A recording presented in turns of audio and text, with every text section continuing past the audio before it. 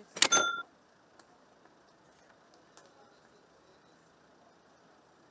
Milletvekili kesit sonuçları olağanüstü itirazlarla gelen dosyaları bugün görüşüp dosyaların akıbetine göre bir şey söylemek mümkün olur. Bugün ya da yarın diyelim.